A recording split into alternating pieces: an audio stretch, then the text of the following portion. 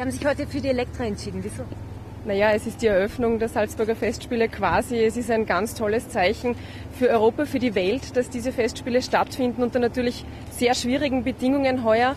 Aber es ist irgendwo auch ein Zeichen der Hoffnung und wir müssen alle vorsichtig sein. Deshalb sind wir auch alle mit Maske unterwegs.